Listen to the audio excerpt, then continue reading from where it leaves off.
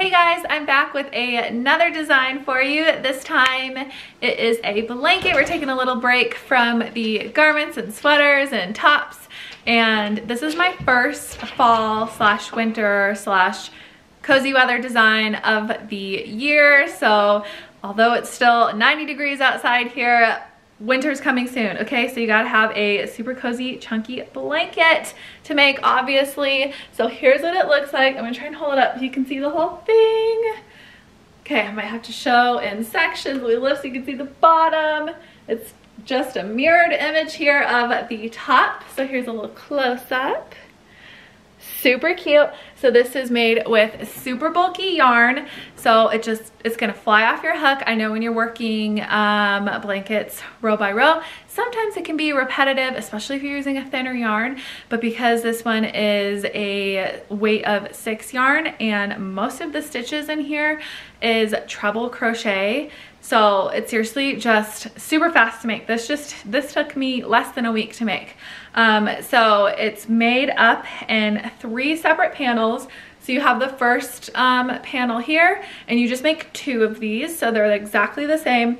And then this middle section is one large panel as well. It has the three big stripes, but it's all connected. And then um, you'll just attach them together by a row of single crochet here. It gives it a little bit more texture and a fun look to it. So yeah, I wanted just to do something slightly different than the regular norm of rows back and forth. So I hope you guys like this one. You only need um, six skeins of respun. I used the respun thick and quick. And this is 100% recycled polyester, you guys. So if you are conscious of Mother Earth and you want to help out a little bit, use this yarn. It's super um, soft too. I know sometimes with like the recycled yarns, you'd be like, oh, it might be scratchy. No, this one is really, really soft, I promise. Um, and then it's a super bulky and uh, they're like huge, huge skeins. So you only need three colors of um, the, I used pumice for the first color, this little gray color, and then three, three skeins of wisteria. So three three skeins of each color and just two colors. So six skeins total. Um, and then you're also using a nine millimeter hook. So super quick. Almost every single stitch here is treble crochet, except for a little bit uh, in the beginning. You have a little bit of double crochets and then um, the trim and where we attached is single crochets. But super easy as well. You'll be doing a little bit of um, changing colors here. I don't know if you guys saw when I held it held it up close. Fun little um, color changes, uh, which are also really easy. Don't be scared. So when you do the last yarn over and pull through and it says to switch colors, um, you just place the new yarn color on your hook and do that final pull through with the new and you can just switch back and forth. Um, I show all of that in this video and then the free pattern is also on my blog. So if you want to follow along with the written or just use the written instead of the video, you can do that. I'll link that in the, in the description. Um, and it has like all the stitch counts and row counts and all of that as well. Uh, and then this is also available as a Lion Brand kit and I always recommend the kits. If you know you're gonna make this uh, pattern that I have, I always recommend to grab the kits, especially because they are constantly having coupon codes and sales. So basically you're buying the yarn at a discounted price and then they'll throw in the um, digital PDF of my pattern when you buy the kit. And you can also change out your yarn colors. So if you don't want these colors that I used in my blanket, you can swap it out for uh, any of the other colors that they have listed. So I'll link that down below. And then of course it's in my Etsy and Ravelry shops if you like the printable version of the pattern. So you can grab that.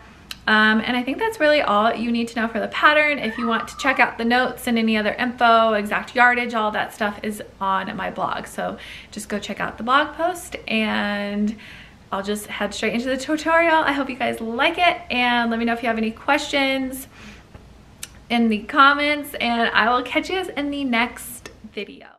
Okay, so for our super cozy blanket, you need six skeins total of Lion Brand's Respun Thick and Quick. I'm using three skeins in the color Pumice and then three skeins in the color Wisteria. And all that yardage is on my blog post, so you can check that out. And then you're going to need a 9 millimeter crochet hook, scissors, a needle to weave in your ends, and then a couple of stitch markers as well. So we're going to get started with the end panels to begin. So just start with a slip knot and then go ahead and insert your hook and we're going to be starting with a foundation double crochet row. So I'll show you how to do that. You're going to begin by chaining three and then yarn over and insert your hook into that back bump of the very first chain that you made.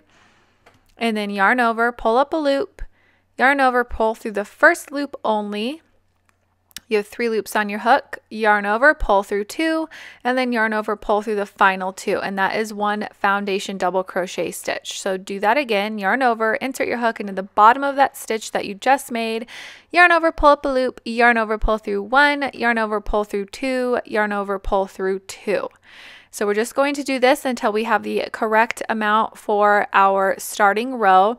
So this basically just combines the a starting chain and row one of patterns.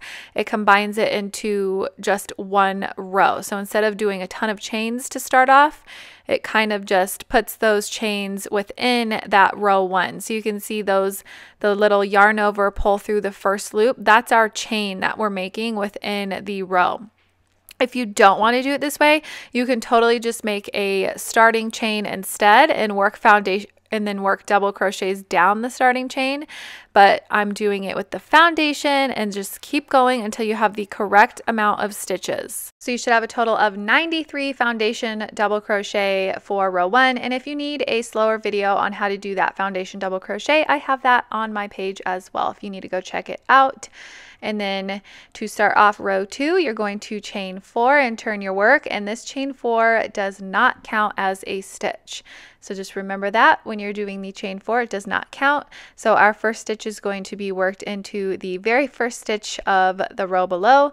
So yarn over twice, insert your hook into that very first stitch, yarn over, pull up a loop, yarn over, pull through the first two loops, yarn over, pull through the next two loops, and then yarn over, pull through the final two loops. So that is one treble crochet stitch, and I will show it here again. Yarn over twice, insert your hook into the following stitch, yarn over, pull up a loop, yarn over, pull through two, yarn over, pull through two, yarn over, pull through the final two.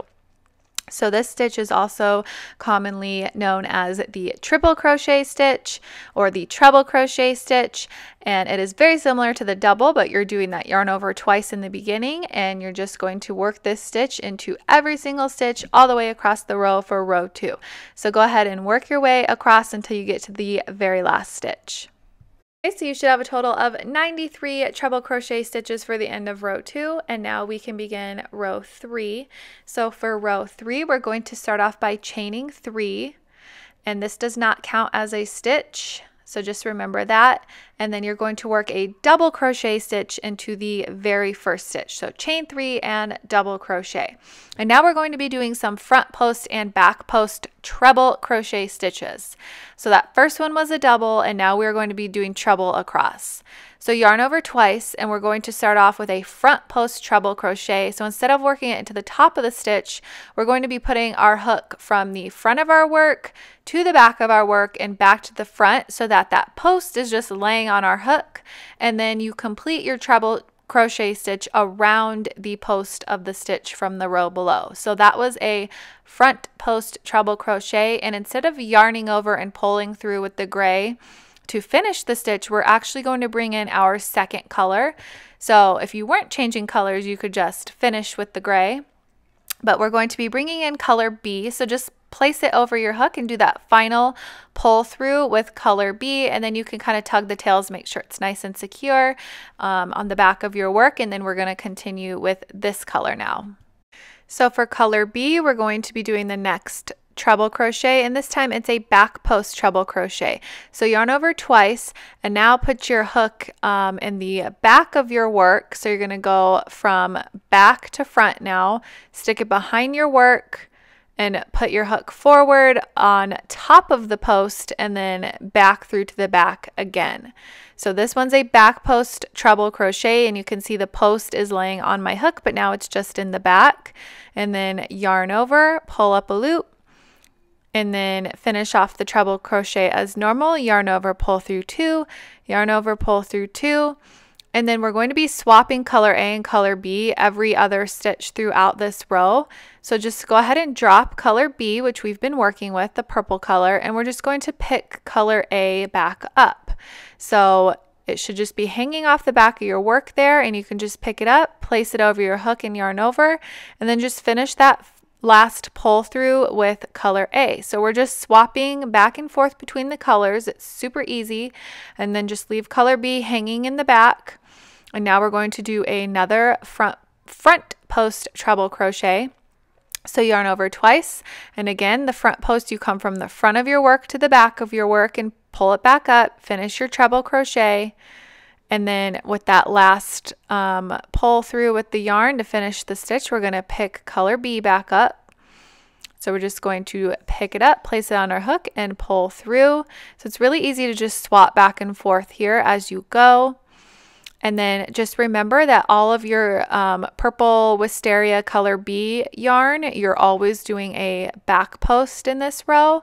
And then with the color A, you're doing a front post.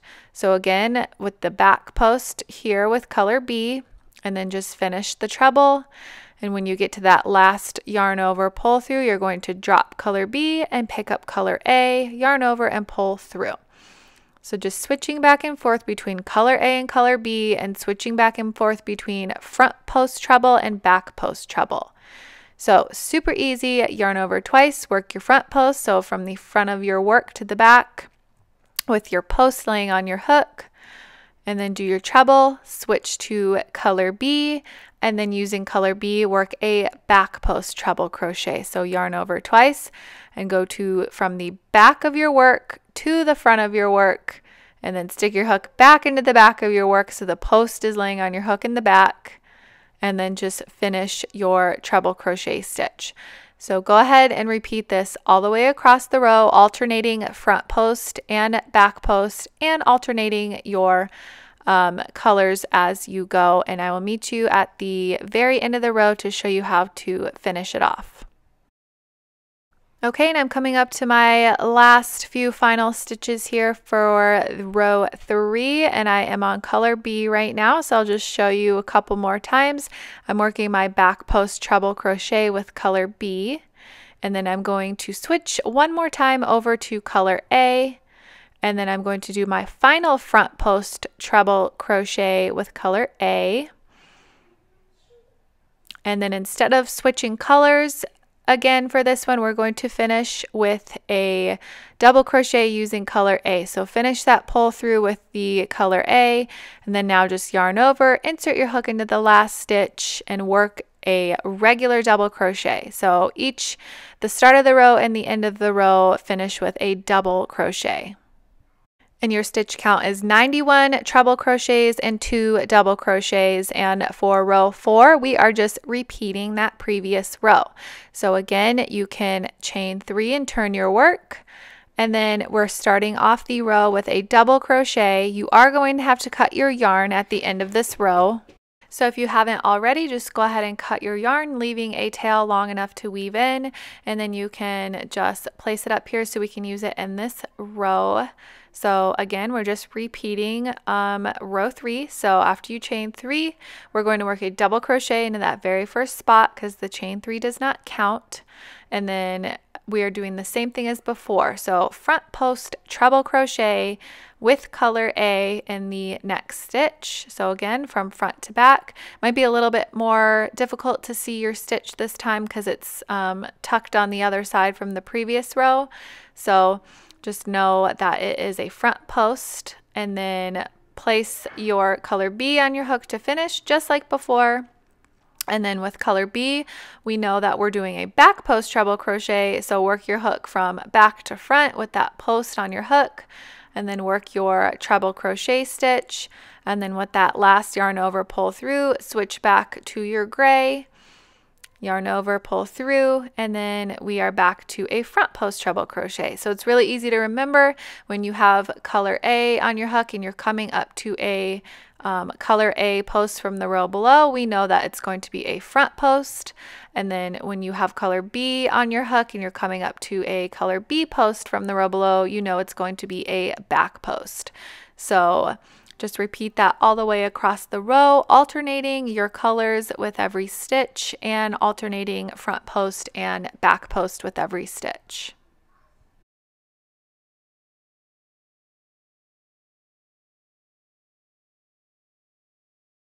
Okay, so we're coming up to the end of row four here, and I'm going to finish this last front post treble crochet with color A. And then in the final stitch of the row, don't forget to do a double crochet this time instead of a treble. So just yarn over once and insert your hook into the very final stitch to complete row four. And again, we have 91 treble crochet and two double crochet stitches for this row. And for the following row, we're going to be using color B. So go ahead and cut your yarn and then bring color B up to finish this last double crochet stitch of the row. So just do your final pull through with color B, tug the tails, and then later on you can also tie these tails in a knot. You could do it now to keep them in place or you can do it later on because we are going to do a trim that is worked over it. So after you um, add in the new yarn, we're going to be doing row five, so chain four, and the chain four does not count as a stitch, so work one treble crochet into the first stitch. So you're going to be working it through both loops on this first stitch. So both the front and the back for the first, and then for the following stitches, we're going to be working it in the back loop only. So if you don't know what that is, the back loop is the loop that's furthest away from you in the stitch from the row below.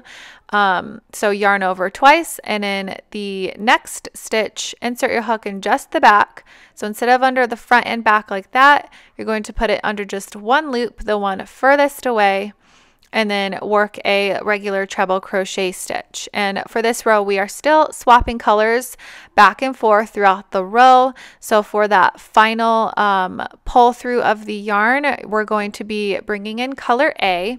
So make sure that you cut color A from the row below and then bring it up and do that final pull through with color A to finish our treble crochet stitch.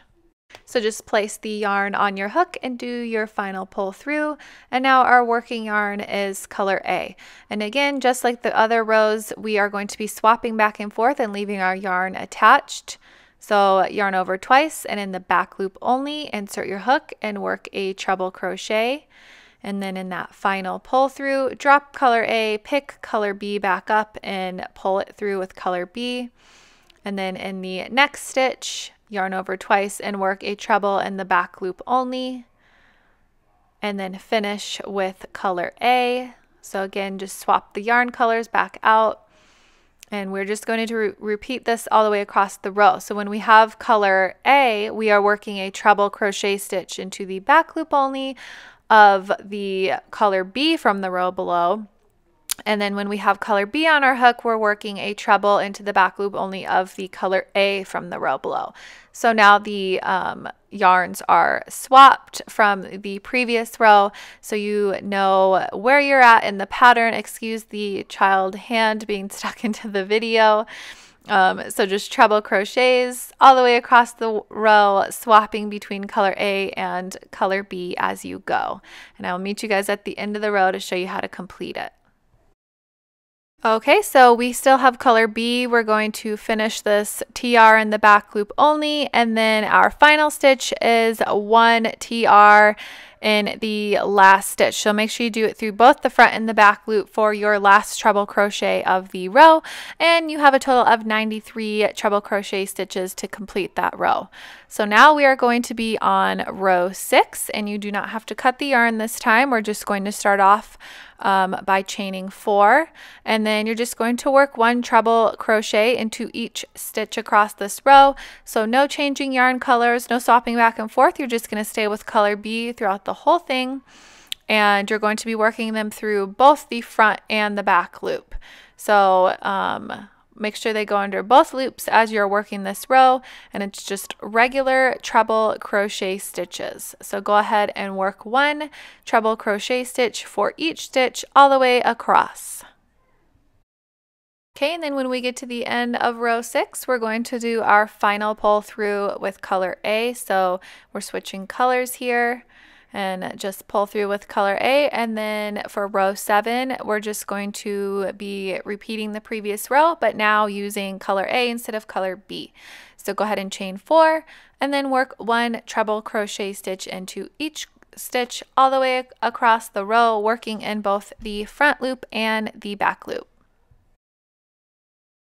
So when you get to the end of this current row, which is row seven, you'll have a total of 93 treble crochet still. And with that last yarn over and pull through on your final stitch, you'll want to switch back to color B and then use color B for row eight, working one treble crochet stitch in each across. And then when you get to the end, switch back to color A, and then you will be working one treble crochet in each stitch across for that row, which is row 9, and then again for rows 10 and 11. So it should look like this when you're all done. So we had that current row with color A, we switched to color B and did a row, and then we switched back to color A and did three more rows. So now we have a total of 11 rows in this end panel and you can just go ahead and tie off your work and then you have to go back and make a second one of these. So make sure you have two of these end panels.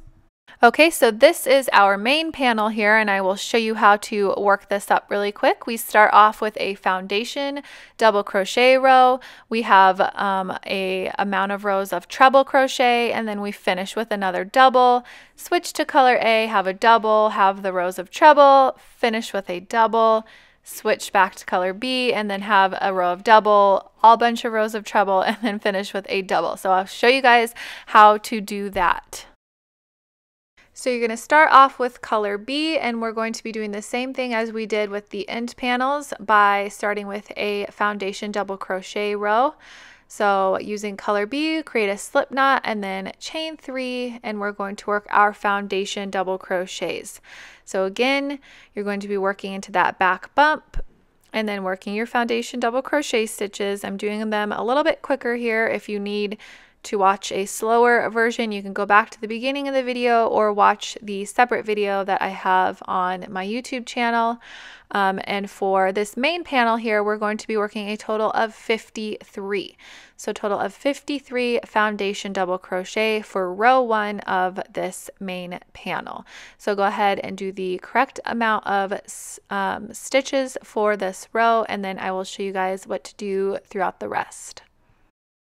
So I'm just going to do a quick little swatch here. The panel that I showed you just a couple minutes ago is what we are making and I'm just going to show you a quick version of it because it's very simple. So after you do the row one of foundation double crochet, you're going to chain four and then just work treble crochet stitches all the way across the row. And you're going to do that for rows 2 through 11. So this is row 2 here.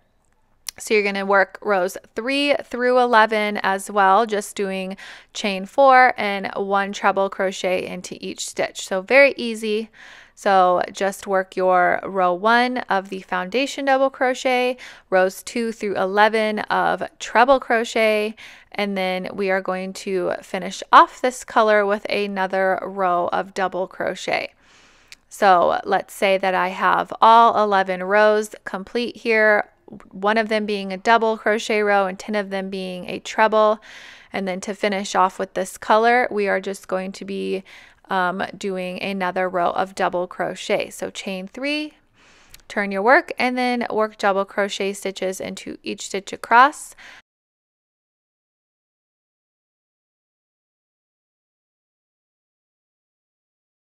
When you come to the end of row 12, we're going to finish this last stitch here with um, color A. So we did all 12 rows with color B, and now for row 13, we're bringing back in color A, and this is going to be a, another double crochet row here. So just pull through with color A, chain three, turn your work, and work one double crochet into each stitch across the row. So your stitch count here is not changing. Um, it's going to stay 53 stitches. So after you finish row 13, the current row, you're going to have rows 14 through 23 working a treble crochet into each stitch. And then you're going to have row 24, a final row of double crochet with color A, and then at the end of the row, switch to color B, and then do the same thing, row 25, chain 3 and work a double crochet row, and then rows 26 through 35, a treble crochet row, and then row 36, which will be your final row of this main panel, is a double crochet row. So this is what it looks like when you are all complete with that main panel. So you have this chunk of color B here, and then a chunk of color A, and then a chunk of color B. So again, row one is a double crochet row, two through 11 is treble, Row 12 is double, switch to color A and have a row of double for row 13. And then rows 14 through 23 is treble and then a final row of double with color A. And then you switch to color B again. Row 25 is double, 26 through 35 treble, 36 double. And now once we have those panels complete, we need to join them together. So that's what I'm going to show you here. So we're going to be placing our um, first end panel, doesn't matter which one because they're both the same, and place it against the main panel that we just made wrong sides facing. So make sure your wrong sides are facing each other. And for this particular pattern, row one is the right side of our work for all three panels. So wrong sides are facing so that this row of single crochet that we're doing is on the right side of the blanket for this um, cute detail that it provides. So just begin with a slip knot and then you can use whichever color you want. I'm going to use color B here. And then I've just lined up my first end panel and my main panel. So when we're working the end panel, our stitches are going through the sides of the rows and you want to line it up evenly with row 11 of the end panel. So we're going to work one single crochet stitch for each stitch of the main panel. So I've slip stitch to join working through both the main panel and the first end panel and then just chain one and then insert your hook again into the same spot and in the same stitch and work a single crochet. And then we're going to line up our work evenly here, working our hook through the ends of the row of the main panel, but through the stitch of the end panel. So you just want to try and get it as even as possible and just line up the stitch from the end panel with um, the ends of the rows where you're at on the main panel. And then I forgot to point this out a second ago, but it's also very helpful here to use stitch markers. So you can grab a couple stitch markers if you want and put them in place to keep, make sure you're on track and that we're seaming this together evenly. So because our uh, end panel had a total of 93 stitches, you can count out a total of 31 stitches on row 11 of the end panel and place your stitch marker into that 31st stitch here and then line it up evenly where the color change is. So you can see I just put it in the 31st stitch and then I put it right there at the seam where the colors changed um, in the main panel row. And then you can do this for um, the next set of 31 stitches too. So you place that one and then you can count a, another 31 stitches and put in a second stitch marker here and then line it up with the color changes as well. That way you make sure you're perfectly even as you're sewing this together. So you're going to have a total of 93 single crochets for this joining part and you're just going to make sure that they're evenly placed in um, the main panel of the work since we don't have an actual stitch to work into. So if you find that you're coming out a little uneven, you might need to pull back a little bit and redo a few of the stitches. But once you get going, it's very simple. You can see how it's lining up nice and even. So just do this all the way across the row. You can remove the stitch markers once you get to them and then just keep going for a total of 93 single crochet. When you get to the end of your work, you can just go ahead and yarn over, pull through, and tie off your work. And then we need to repeat this on the other side as well. Okay, so now you can grab your second end panel and take it and place it on the other side of the main panel at the ends of the rows. And now we're just going to single crochet across this one, just like we did on the first one. So again, you can place those stitch markers, count out 31 stitches, place your stitch marker through both of the panels um, where the color changes on the main panel, and then count out another 31 and place a second stitch marker um, through both panels as well, just to keep your work nice and even. And then again, you're going to just slip stitch to join into the corner stitch of both the main and the end panel and then chain one and do a single crochet into that same stitch. So then you can just work your single crochet stitches across just like you did before, making sure your panels are nice and even, um, working around the posts um, of the main panel and through the stitches of the end panel for a total of 93 single crochet. Okay, so now that we've single crocheted um, our panels together, we're just going to add a little trim along the sides of the blanket. So we have the top of the blanket and the bottom of the blanket have those foundation double crochet rows from the end panel. Um, and so for the sides, we want to make it look a little bit neater and crochet directly over our ends. So we're just going to take color B, slip stitch to join in either corner of the blanket, doesn't matter um, which corner you join in as long as you're working um, down the sides of the blanket here to work over all those ends from the end panel. So just slip stitch to join and work a single crochet and then you're just going to single crochet evenly down the side. So again, because we're not working into an actual stitch, we're just working our single crochets around the posts of those rows like I'm doing here. Um, you might have to play around with it a little bit to see how many stitches you need. It might be different for everyone, but I did just about two single crochet for every double crochet row and then three single crochet for the rows that I had a treble crochet or a chain four at the end. Um, so the stitch count for this part really um, isn't super important as long as your work is straight and even. Um, if it looks like it's wavy, that means you have too many stitches. You should pull back out and do less.